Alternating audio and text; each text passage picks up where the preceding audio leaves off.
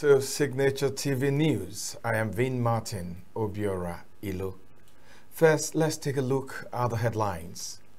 ASUU mobilizes for fresh strike, insisting political and diplomatic means have failed.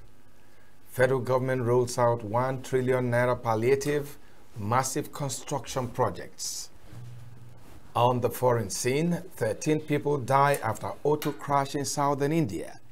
U.S. 2024 presidential debate leaves supporters with mixed feelings. In sports, Argentina captain Lionel Messi may miss the final Copa America group stage game against Peru. And back in Enugu, Nollywood star John Okafor, popularly known as Ibu, laid to rest in his village, Amuri, in Enugu State. Stay with us. The High Chief John Okafor, popularly called Ibu, having committed to Mother Earth at his country home, Eziokwu Amuri, in Nkanu West local government area of Enugu State. Signature TV correspondent Ebenezer Odo joined other mourners at the event.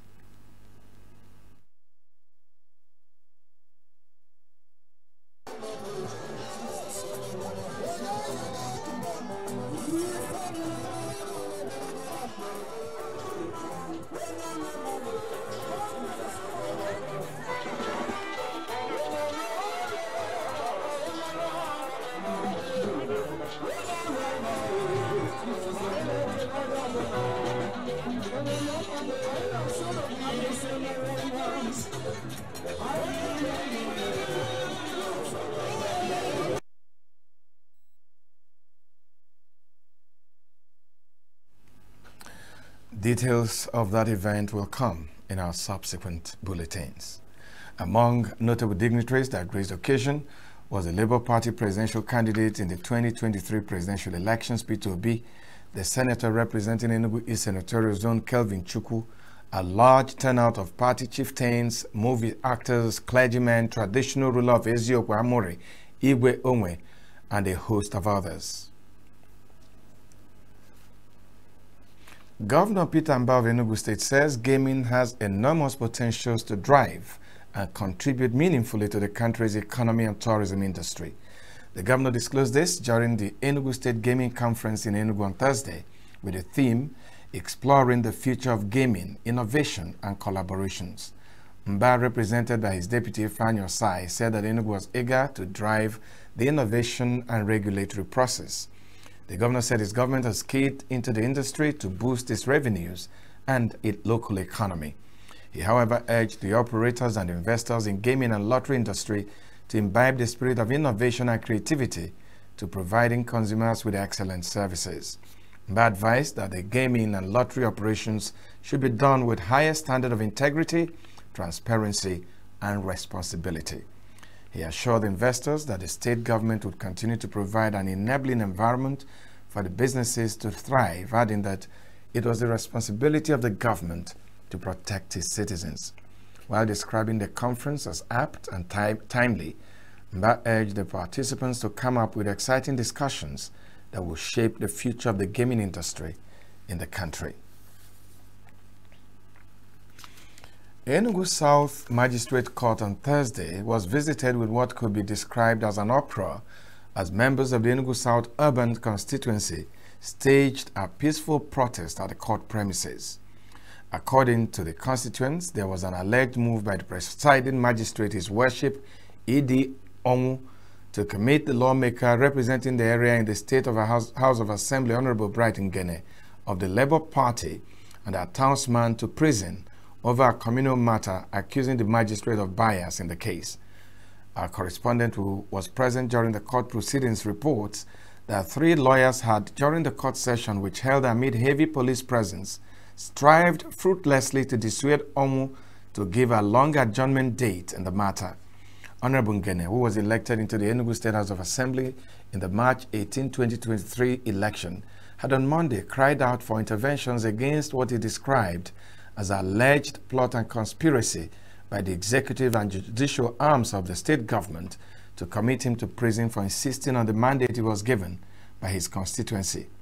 In a Save My Soul SOS alarm he raised in Enugu, the lawmaker hinted that both the Chief Judge of Enugu State, Justice A. R. Zemena, the Deputy Chief Registrar of the State High Court, Chijioke Agbo, and Magistrate E.D. Onwu have colluded to terminate his political and legal careers by employing impunity to disobey the National Judicial Council NJC interventions to stay action, a charge against him, Ngene, and two others until the matter is determined by the NJC. They said the said matter had been lingering since 2017 before Ngene ran for the assembly election. When every effort by the defense counsels failed to sway the trial magistrate, they stormed out of the court, visibly angry, expressing disappointment with the manner the chief magistrate is handling the matter. Members of the Academic Staff Union of Universities, ASUU University of Nigeria and Nsukka UNN chapter, have threatened to embark on strike over the failure of the federal government to address their grievances. This comes as the union said that it had employed both diplomatic and political means to no avail, insisting it's dealing with a hypocritical government. They issued the threat on Thursday following a peaceful march around the institution to protest the federal government's failure to implement an agreement with the union. Members of ASUU UNN will board different placards such as Government, Stop Forcing ASUU to Embark on Strike, Government, Honor Agreements with ASUU, Government, Don't Kill University Education in Nigeria, Nigerian lecturers are the least, least paid in the globe, among other inscriptions, urge the government to renegotiate the 2009 agreement with the union. The union members said they would support their national leadership's call for nationwide indefinite strike if the federal government failed to meet the union's demands after the 21 days ultimatum. The member representing the Ukwueza South Federal Constituency at the House of Representatives, Chinedu has inaugurated a study facility of the National Open University at the Abakaliki Custodial Center. Ogah, who inaugurated the facility on Friday as part of activities to mark his 48th birthday ceremony, said it was to enhance the educational well-being of the inmates and give them hope of a secured future. The legislator said the inmates should be encouraged to embrace education while on awaiting trial or serving various sentences. According to him, the facility will be equipped with internet facilities to ensure that inmates receive quality education, while plans are in top gear to partner with our United Nations agency. He noted that the center alongside the one at Afikpo would receive infrastructural facelift as captured in the 2024 budget. Ogah advised inmates to behave well in order to be useful to themselves and to the society when released. The National Universities Commission NUC has granted accreditation to 42 courses of the Federal University, Lokoja, Kogi State. The Vice Chancellor of the university, Professor Olayemi Akinwumi, while speaking to journalists in Lokoja on Friday, said the news was conveyed through a letter signed by the Acting Director of Accreditation, Abraham Chondusu, on behalf of the Acting NUC Executive Secretary, Chris Maiyaki. Akinwumi explained that the accreditation was sequel to the October-November 2023 accreditation exercise, which had now been released to the university. He commended the NUC for the accreditation of the university programs, describing it as a milestone received with great joy by members of the university community, particularly the 400 level students. He further revealed that the hope and chances of the 400 level students of graduating this year and mobilized for the National Youth Service Corps NYSC scheme were uncertain before now. Akinwumi, however, expressed appreciation to the NUC members of Senate as well as staff and students of the university for their cooperation and tireless efforts that led to the remarkable achievements. Some of the newly accredited programs which cut across different departments and faculties include administration, accounting, banking and finance, business administration, public administration, arts, Arabic, archaeology, and Christian religious studies. The Defense Headquarters says the military has recovered stolen crude oil worth 10, 10 billion naira in the Niger Delta amid the war against oil theft and vandalization in the region. The Director Defense Media Operations Major General Edward Buba has disclosed this, disclosed this on Thursday during the bi-weekly briefing in Abuja. It said in the last three months, no fewer than 2,245 terrorists were killed in the north by the troops. Buba said during the second quarter of this year, troops also arrested 3,682 suspected terrorists and other criminals, as well as rescued 1,993 kidnapped hostages. According to him, they denied the oil theft of an estimated sum of over 10 billion naira. Recall that the Nigerian National Petroleum Company Limited said that it discovered 165 illegal refineries in the Niger Delta in a week. Still to come in the news, millions lost as fire razes Karu market in Abuja. UK Sunak hurt and angry over ref reform volunteers racial smear. US 2024 presidential debate leaves supporters with mixed feelings. Don't go away.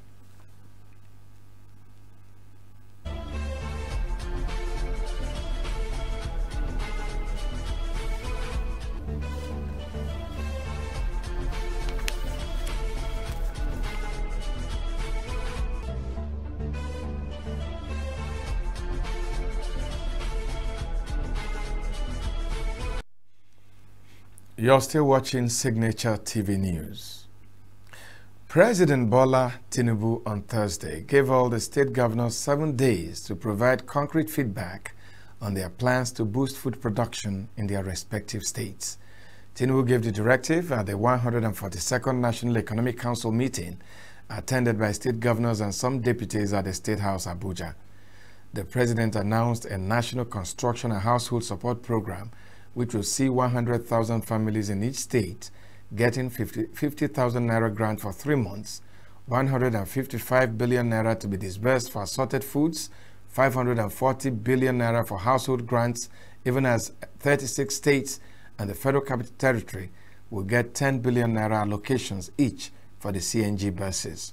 While emphasizing the urgency of boosting food production in the country, the president urged state governors to work together to meet the needs of citizens, stating his willingness to provide the needed support to ensure that Nigerians are relieved of hardship. A devastating fire outbreak has struck the Karu market in the Federal Capital Territory, leaving a trail of destruction and loss. Reports say goods and property worth millions of naira have been reduced to ashes, leaving traders and shoppers in a state of despair. The FCT fire service with a station in Karu Market responded to the incident. However, faced allegations in however they faced challenges in assessing the scene due to the large crowd of people flocking to the area. Despite the challenges, soldiers were on ground to maintain order and ensure the safety of everyone involved. Preliminary investigations suggest that the fire may have been caused by an electrical surge which quickly spread and engulfed parts of the market. The full extent of the damage is still being assessed. However, it is clear that the fire has left a significant impact on the community. The cause of the fire is still under investigation, and officials are working to determine the exact circumstances surrounding the outbreak. The national youth leader of the new Nigerian People's Party, NNPP, Awal Musa, has described the EFCC investigation on the former Kano State Governor Rabiu Kwankwaso as a political witch hunt. Speaking in Kaduna, Musa said the action was initiated by some political rivals with plans to tarnish Kwankwaso's image. He challenged the EFCC to come out with facts on the allegations, arguing that there was no justification for EFCC to commence investigations of Kwankwaso from 2015 to 2023 as a former governor and leader of the NNPP. According to him, investigating an honest and hardworking person like Kwankwaso will only amount to a waste of time. Musa urged EFCC to disregard any petition written against Kwankwaso by any politician or any associate. Reports say 13 passengers commuting in a van died and several were injured after it collided with a stationary truck at a highway in India's southern Karnataka state, local media reports said on Friday. The bodies of the victims and other injured passengers were taken by ambulance to were taken by ambulance to the local hospital for further treatment. The accident took place at midnight on the Bengaluru Pune National Highway in the Haveri city of Karnataka.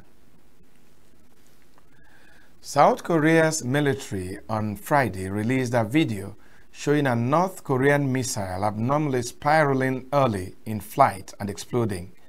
It was a rare publication of surveillance footage to dismiss Pyongyang's claim of a successful test.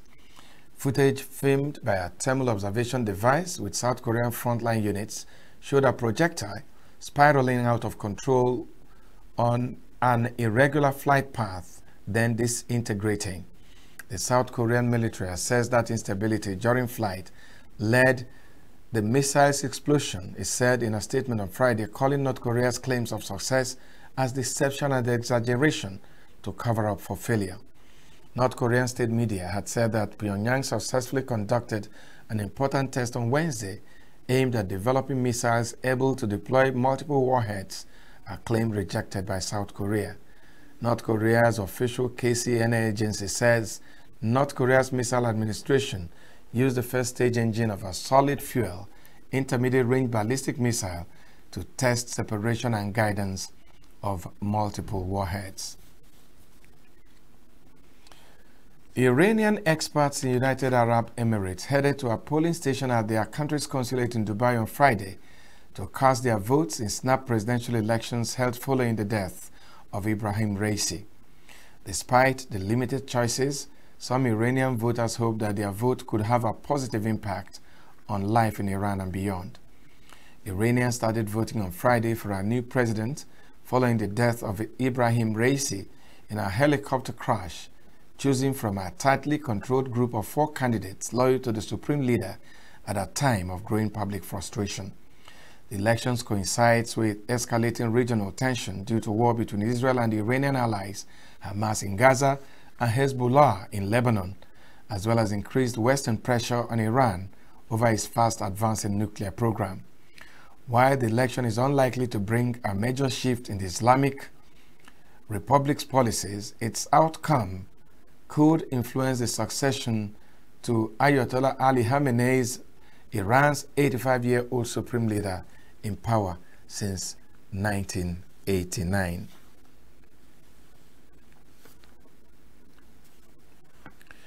Heavy rainfall and winds at New Delhi's main airport on Friday caused a roof to collapse, killing one person. A portion of the canopy at the departures area of Terminal 1 collapsed at 5 a.m. Video from the Delhi Fire Service showed cars crushed under collapsed columns. Several people were injured in the incident and flights from the affected terminal were temporarily suspended. India's aviation minister said he was monitoring the situation and the first responders were working at the site. Floodwater up to 4 meters deep submerged a village in eastern China's Anhui province next to Xinyang River on Friday, state media CCTV have reported. The average rainfall in Huangshan city over the past nine days reached 580 millimeters, which means the total amount is equivalent to water in 200 West Lakes, causing 58,000 people to evacuate. Footage aired showed rescuers evacuating standard residents with lifeboats in Nanchang, Jiangxi province. China has provided more than 2.3 billion yuan in funds to help with rescue efforts, emergency supplies, and planning as deadly floods and landslides caused by almost two weeks of torrential rain ravaged several parts of the country.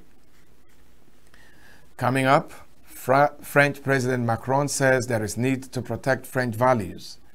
US 2024 presidential debate leaves supporters with mixed feelings.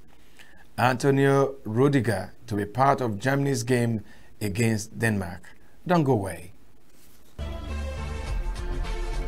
What is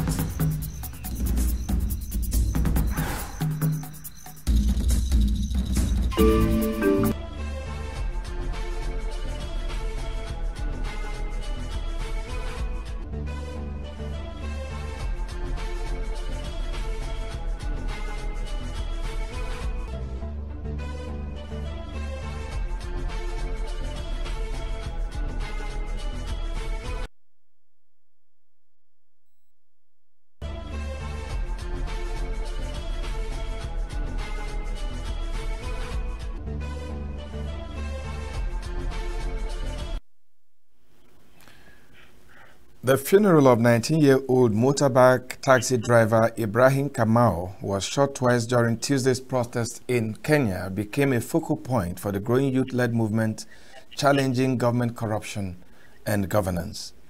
Kamau's mother, Edith Wanjiku, mourned her son, describing him as a calm young man and a happy person who was never involved in crime. Wanjiku's plea for justice resonates with a larger call for change reverberating across the country. Following their successful campaign against a $2.7 billion tax increase proposed by President William Ruto, Kenya's young activists are refocusing their efforts on the broader issues of corruption and bad governance. The abundant finance bill, critics say, was only a symptom of the systemic problems confronting a country where strong economic growth has failed to translate into job opportunities for many of the youths. The youth-led movement marks a significant shift in the political landscape in Kenya. Historically, protests have been orchestrated by the country's political elites, often culminating in power-sharing arrangements that offered little benefit to the masses.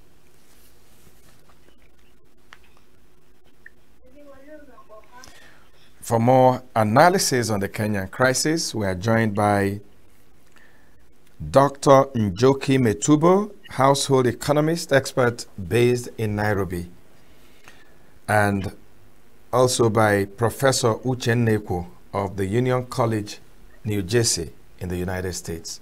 Um, you're all welcome to uh, this segment of the news. Thank you very much. Dr. Metubo, let me start with you. How would you describe the events of the last few days in Kenya? And is there a way out of this crisis? Oh, the way I can describe the event is that it's, uh, do I say amazing or shocking or incredible?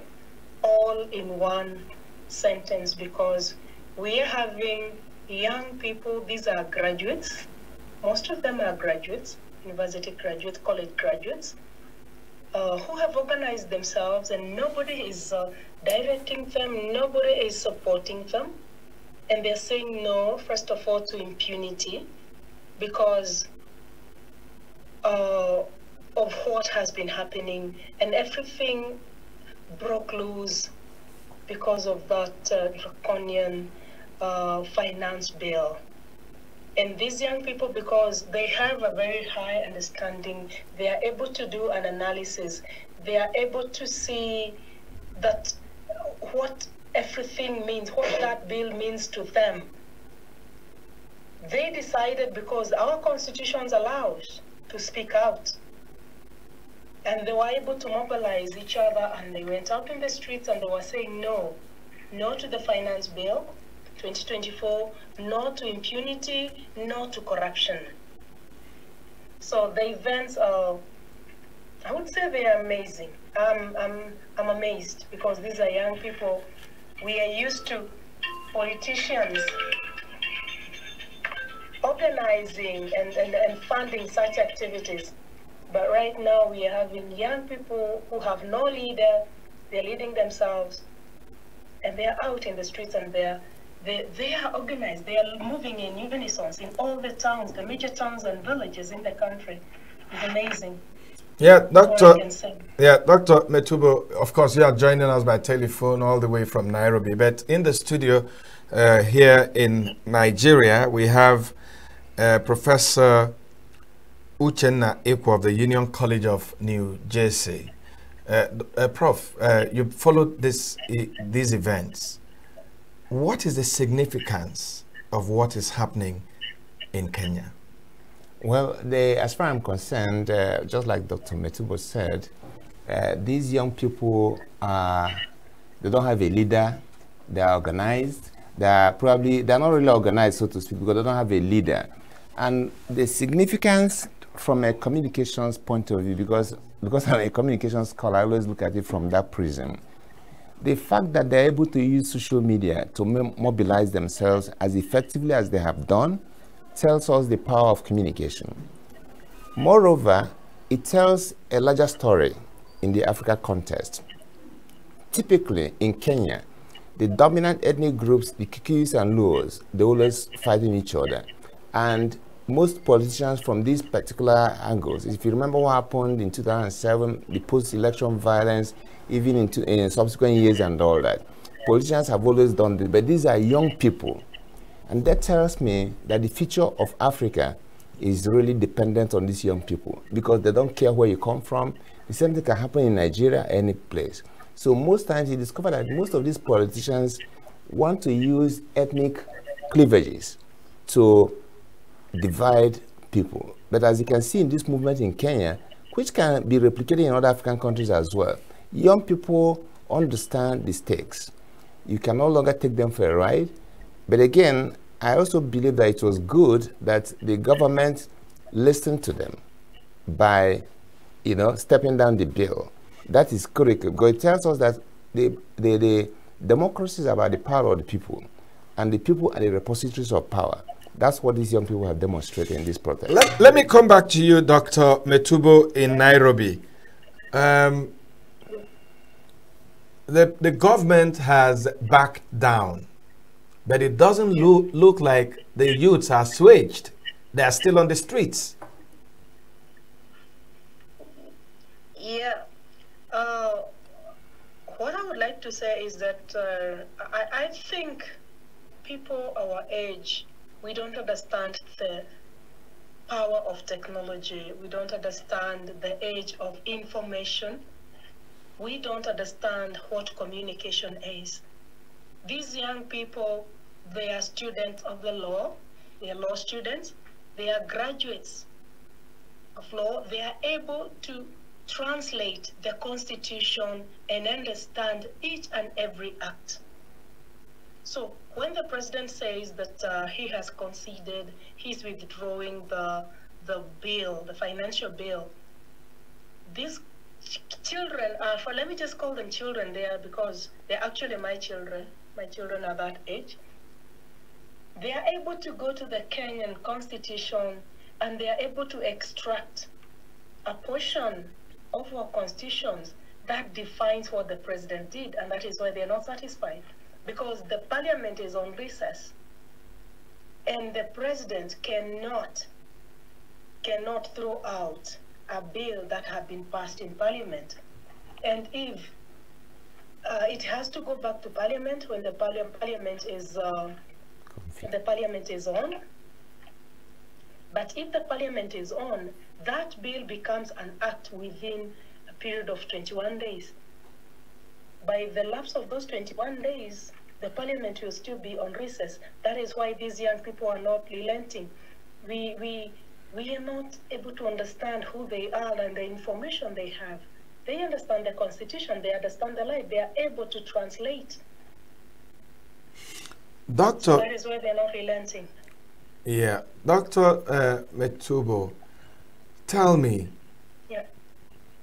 You are in Nairobi, and Nairobi was like the nerve center of uh, what, what, what has happened in, in the last couple of days. Is it yeah. true when some people who have spoken to in Kenya say that a lot of people are in hiding, that security officials are looking out for those they describe as troublemakers, organizers. Is that a true representation of what is happening in Kenya right now? Uh, it is evident and it's actually on camera. The abductions had been happening. Uh, they assume that uh, the perpetrators of uh, the social media what do you call those social media? Very people who are very vocal on social Influ The influencers. I'm trying to look for the word. The influencers. And, uh, been, yeah, the influencers. Yes, that is the word I was looking for. Sorry.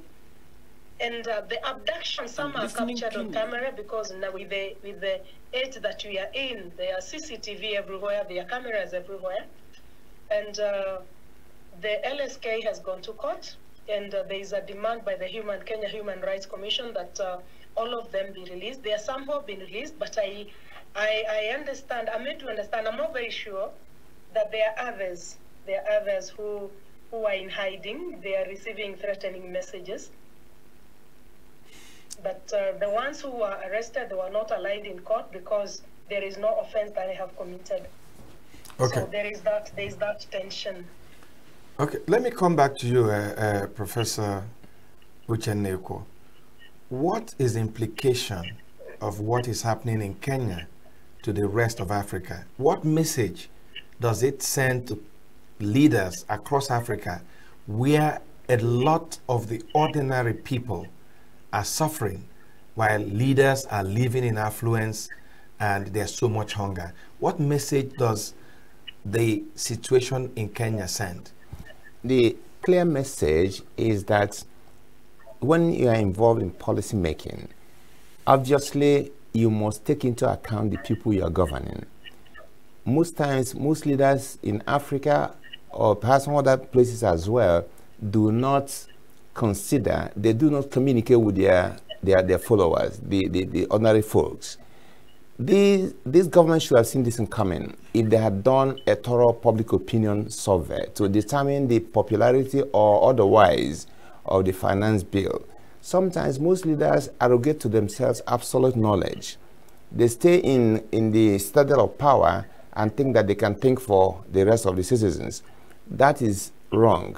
And today, when people are so effective, like you had Dr. Metubo said, these young people are able to look at the constitution to see the gaps, the failures, what government lacunas, has, the lacuna as it were, right?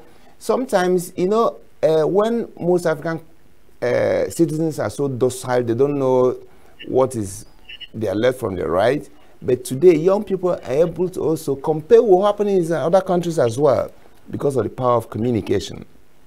They are monitor what is happening in Western countries and they want to live a very great life. So, like he, she said as well, young people today, you can no longer take them for granted. Like if you see, it's just like when we're even discussing issues about misinformation and all, you can't even pull wools in their eyes. They can cross-check and verify facts and bring it to your face. And uh, uh, so the message is just that we can no longer take people for a ride. The world is open. If you, if you tell a lie as a leader, it can be fact-checked instantly. Okay? So the constitution of Kenya is there. And these young people like uh, Dr. Motubo, some of our law students, they're able to find out things. It's not like you're governing like in the era of uh, Kenyatta in the 60s. Jomo no, Kenyatta. Jomo Kenyatta. so today, things are different. you know, so that's just the message. Okay, um, let's just take the last word from you, uh, uh, Dr. Njoki Metubo in Nairobi. Um, how do you think this can be resolved? What's the way out? A lot of people are calling for the resignation of the president, and it, it doesn't look like it's, it's something he's considering. Uh, I, I don't know how you can resolve uh, a situation when your child look at you and tell you, "Dad, you are lying," So, and they know, and you yourself, you know that you're lying. So the way to resolve is to, first of all, understand the people we are dealing with. These are fearless, they are tribeless, they are borderless. They keep on telling us the only thing they fear is uh, is a lack of data and uh, a low battery. That that is a message by itself. I, I heard that one say that uh, young people are committing suicide every day, so death is not a problem to us. You kill me, others others will come up. So you're dealing with a fearless generation. They are saying openly they are not religious, they are spiritual. So you can imagine what that means. You cannot convince them anything. so in, o- in, o- in, o- in other words, they want the, the, the leadership to tell them the truth Transparency. and be, yeah, they and want be to transparent be truth and, they want fairness. okay. When you start moving around showing these quote on this. jobless graduates that you are wearing a watch worth five million and they Justice know your that's gonna be salary because they have an access. They, everything now, ev- oh, they, this is the age of information. All our personal data is on the net. Absolutely. So they're able to see how much you earn as a salary, and you're flashing a five million watch, and that boy, Thank that you. girl is jobless. Thank you. Dr. Metubo, think that Thank- they're making life better for you. They tell you that you're lying. On the other hand, they're checking the constitution. They understand it, and they're looking at your words. Thank you, Dr. Njoki, Njoki Metubo. Thank you I'm so much. I'm just going to leave a, a, a word, or should I say a phrase from um, the former Supreme Court Justice in the United States, um, Brandeis. He says that um, um, sunshine is the best disinfectant. What it means is We have to be Tra- transparent. transparency is the key to there. You can't hide anymore. Thank you, Professor. Thank you, Professor Uchenna Eko from the Union College in New Jersey. And thank you, Dr. Njoki Metubo, household economist, expert based in Nairobi. Thanks for your time and for joining us on the news. China has on Friday urged the United States to stop tolerating and supporting provocations by the Philippines after Deputy Secretary of State Kurt Campbell expressed concern about Beijing's destabilizing actions in the South China Sea. Campbell made the remarks to China's Vice Foreign Minister Ma Zhaoxu during a telephone call on Thursday, the U.S. State Department said.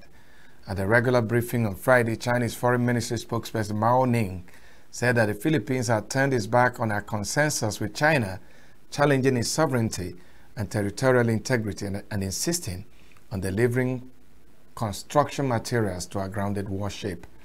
China and the Philippines have recently traded accusations over dangerous and illegal maneuvers affecting their respective vessels in the area around the second Thomas Shoal, a disputed atoll in the busy waterway. The far right national rally is taking the French electorate for granted, French President Emmanuel Macron said in the early hours of Friday. This comes two days before the country goes to the polls in parliamentary elections. The party's Marine Le Pen said on Thursday that Macron would have to appoint her party's leader, Jordan Bardella, as prime minister after the vote, and that the party would keep the president in check even on foreign and defense policy, predictions Macron dismissed as arrogance. The party has proposed that French people with dual nationality should be barred from some strategic administrative posts. One of their outgoing lawmakers went further, saying that a former education minister with dual French Moroccan nationality should never have been appointed, but his comments were quickly denounced by Le Pen. The final outcome of the election will be known after a second round of voting on July, in July. Opinion polls see the national rally winning the popular vote, but it is hard to predict how that will translate to seats due to the two round voting system. British Prime Minister Rishi Sunak says he was hurt and angry that a supporter of Nigel Farage's right wing Reform UK party had been recorded making a racial smear about him, saying it was too important for him not to speak out. Sunak, Britain's first ethnic minority prime minister, was responding to comments by a man named as Andrew Parker, calling Sunak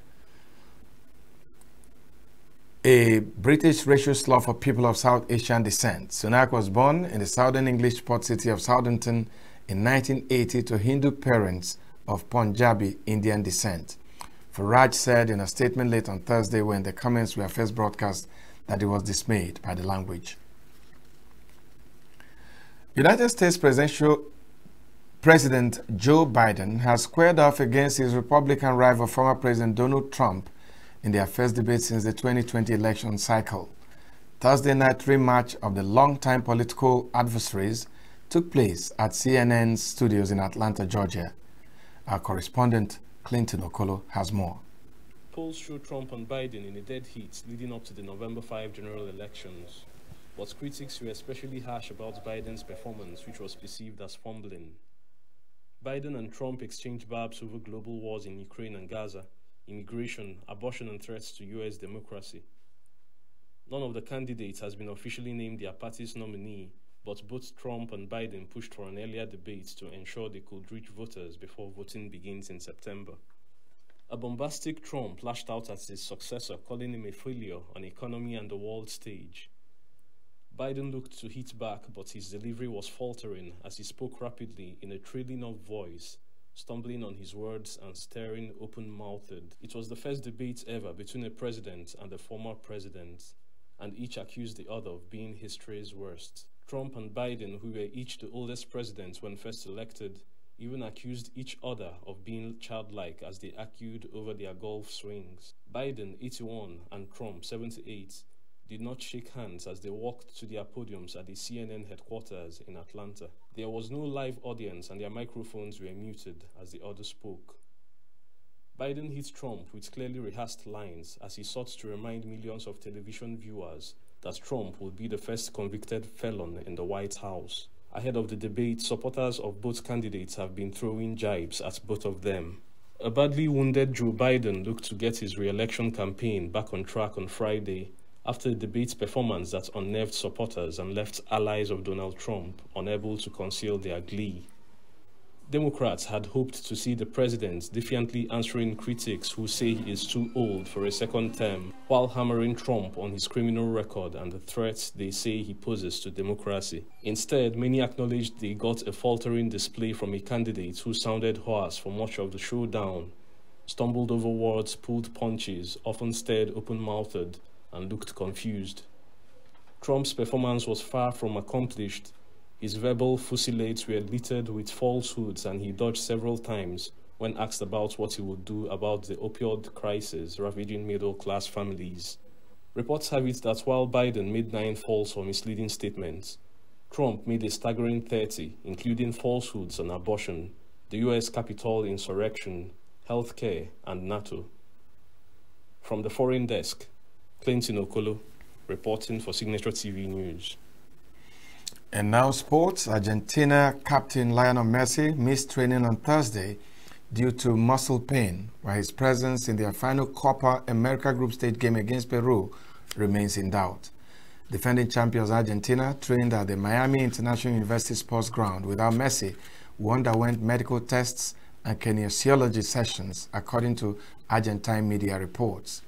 Messi will turn 37 this week and has been suffering muscle niggles required brief medical treatment on his thigh during Argentina's 1-0 victory over Chile this week at the U.S.-hosted tournament. The Inter Miami player said it might be wiser to sit out the Peru game on Saturday with his team already qualified for the next round after two wins. Germany's defense received a much-needed lift on Friday morning as centre-back Antonio Rudiger took part in the team's final training session ahead of their Euro 2024 last 16 tie against Denmark. Rudiger had been in doubt after sustaining a high thigh injury in his side's final group game against Switzerland, but is expected to start against the Danes on Saturday, provided there is no reaction after Friday's training session. With centre-back partner Jonathan Tah suspended after picking up his second yellow card against the Swiss, Rudiger is likely to be joined in defence by Nico Schlotterbeck, who replaced Tah on the hour mark after he was booked. The winner of Saturday's game will go on to meet either Spain or Georgia in the quarterfinals. And that's the news hour. I am Vin Martin Obiora Ilo. Thanks for watching.